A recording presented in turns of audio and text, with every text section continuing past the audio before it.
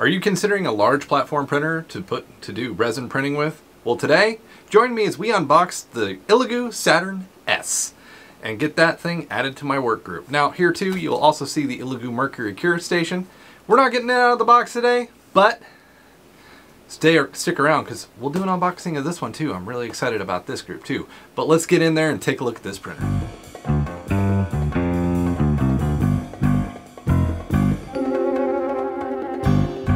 Hello and welcome to today's video. Today, as I said, we are looking at the Elegoo Saturn S.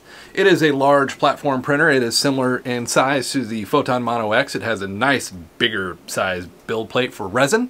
And as you can see from that box, it's a big printer.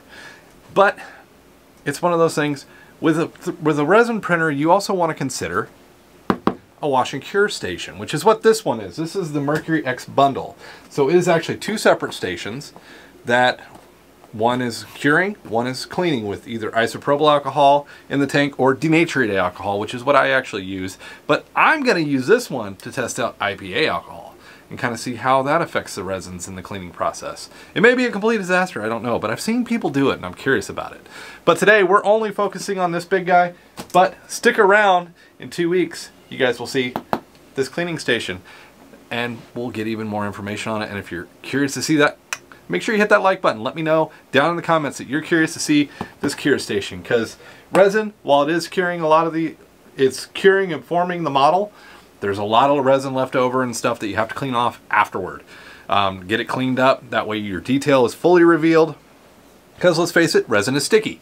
And the cleaning station makes a good safe way for you to clean those models up. And then curing station, it rotates, it cures, it does a good, they're, they're, they're a good thing to have for any resin printer you get. So we're gonna set this guy off to the side for that video. And we definitely wanna be careful because it is, it is fragile. Just like this one, it has a big old red fragile sticker on here. So this one is comparable to the Photon Mono X. This is the Saturn S, which is a 4K version. And I'm really excited to get this one out of the box and actually get playing with it because coming up, I want to pit this thing against the Photon Mono X. The Photon Mono X, once you find the settings, it's a good printer.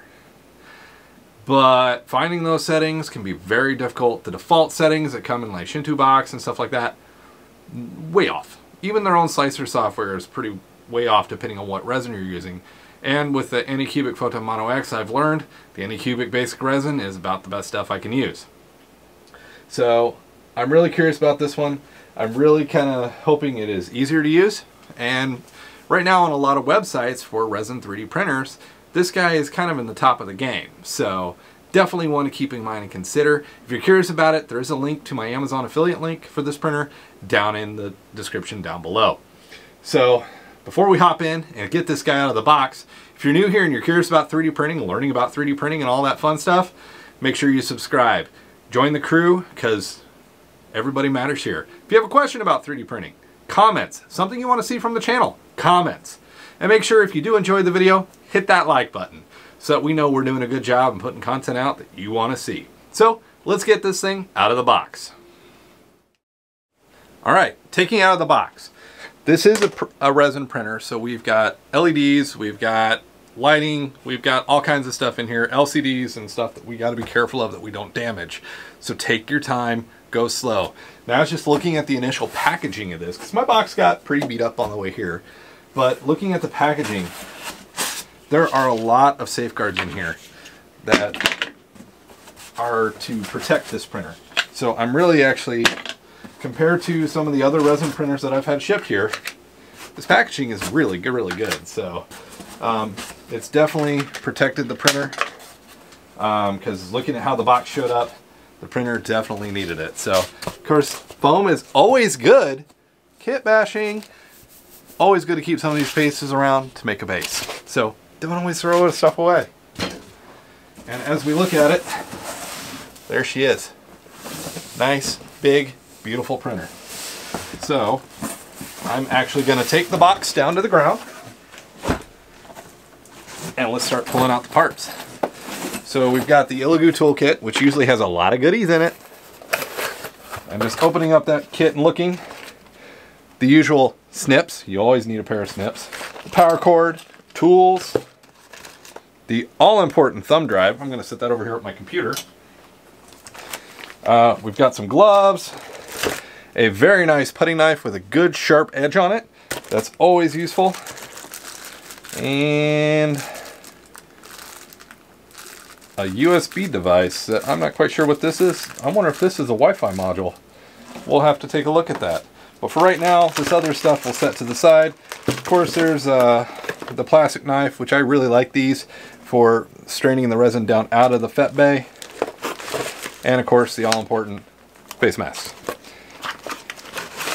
And wow, separate individual leveling instructions.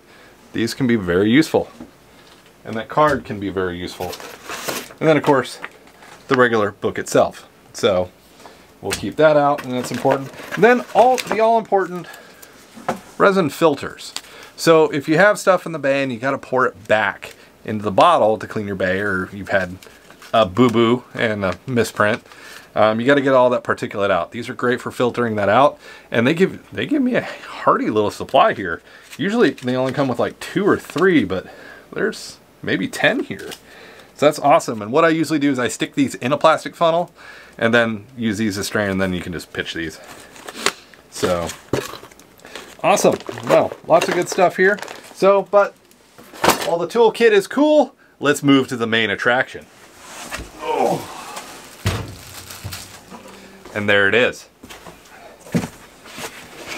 Now like this box, these types of foam, I will actually save some of these because um, they come in handy, like I said, for kit bashing. So yeah, stick around for some of that stuff. But that's not what we're here for. We're here to get this plastic off this beautiful looking machine. And again, when it comes to packaging, Elegoo, good job. The la layers of protection here have been just commendable how these have been, the machine's been protected. Because let's face it, shipping can be uh, rough on devices. I've had printers not survive. And luckily, this guy is looking like it's in great shape. I'm loving the red color. A lot of my stuff is yellow or orange. Uh, the red will match my Halot 1, which is always good.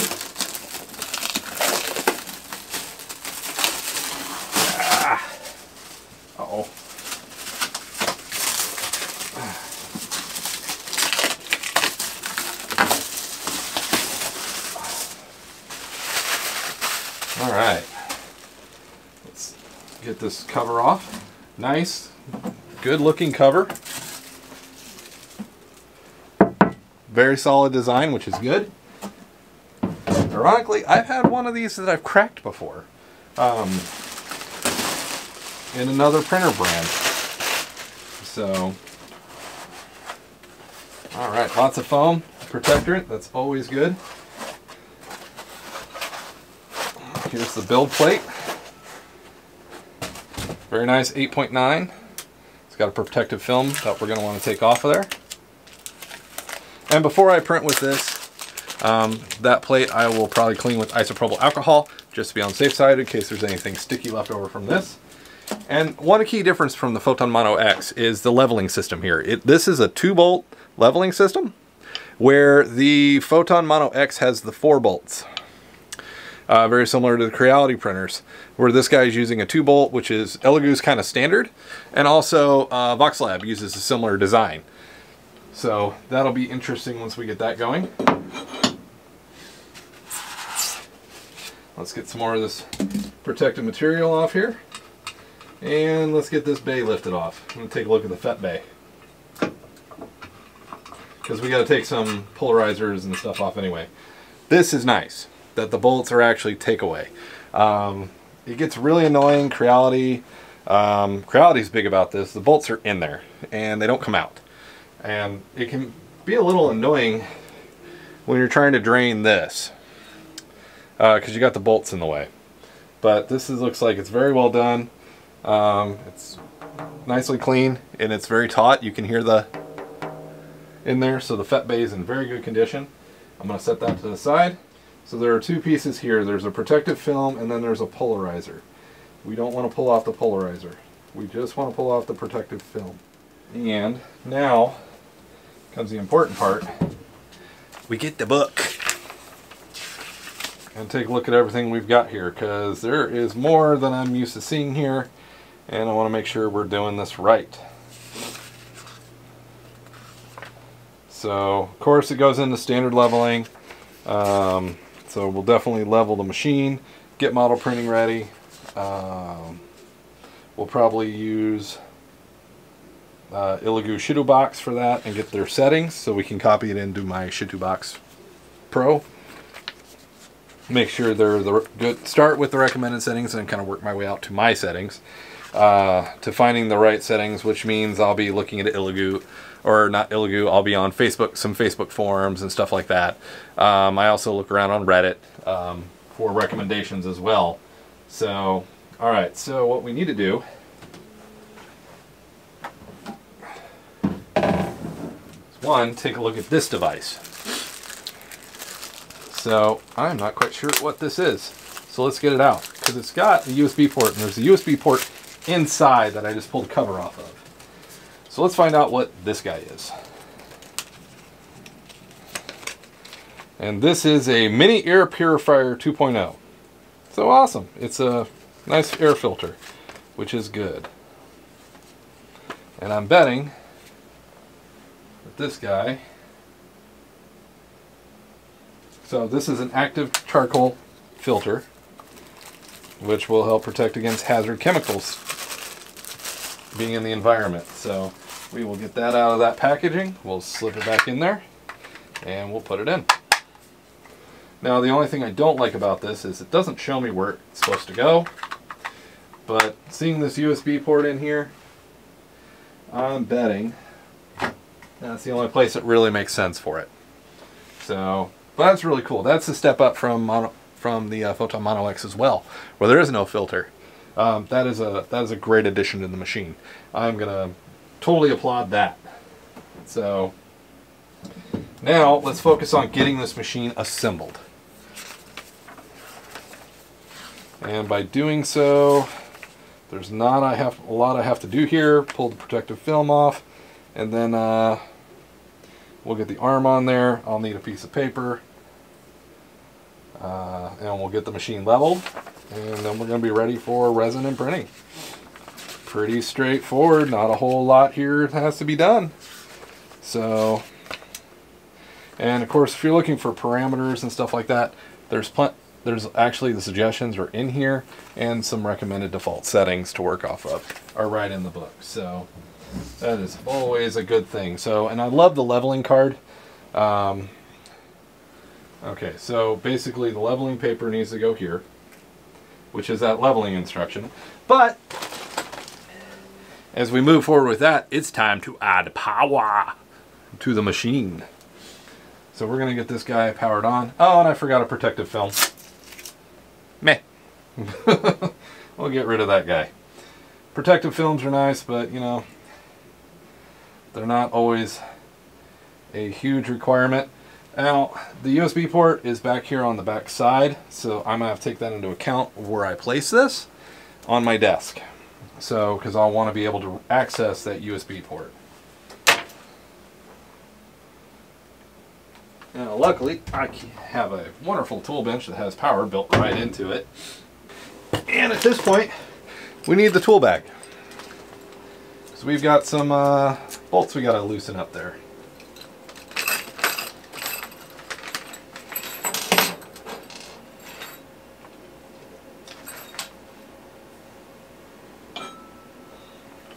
So specifically we need to loosen both bolts on here, which are not the standard Allen wrench sizes I'm used to seeing for this machine. Oh, they are definitely tough for the first crank, but that's to be expected. But once they're loosened, once you're loosened, you can see the plate will move freely, which is what we want. Then, slider in place on the machine we put it in a position, these are loose, then we hit the home button. And that will take the build plate back into the home position. There it goes. Now it's going into the home position. That way this will sit down properly and we can start working on the leveling process. All right, so we've got it pretty much straight on. We want to make sure the plate is straight. So we'll do a little bit of movement there to make sure it's correctly in here. Then we'll start, put our hand on it and start tightening up. We've got that the way we want it because the paper gives the proper proper level so we're not having to do um, do anything there. So now we're ready to um, set z equals zero and confirm. And manually, we're gonna hit 10 millimeter and we're gonna move this back up so we can place the resin tank back on the printer. Now, one thing that I'll do, I'm gonna give this a try first the way it is, but sometimes I will take PTE, PTFE lubricant and spray in here and kind of loosen, spray it over the, uh, the FEP, just so the print will not stick so hard. But I'm, that may not be needed right now. So protective film off the bottom of the FEP. You can see that really kind of cleared it up. Max to the back. And it should sit down in its spot, just like that. We put our bolts on. And you can guess what we're ready for next. We're ready for resin. So as far as unboxing this printer and assembly, pretty easy. We did it not a very long amount of time because um, I don't edit a lot of this out. I want you guys to see when I run into a problem and stuff like that, kind of the real thing. So, but all in all, we're ready to add resin and do their, their actual test print from their thumb drive, which you notice I set right over here. So we will plug that in. I'm going to look at this tiny little screen real quick and see what we've got. Slicing software, parameter G-code, LCD light curable, model Elegoo Saturn SR model for print.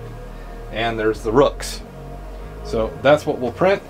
And when I have that printed, we'll come back and take a look. Catch you guys on the flip side.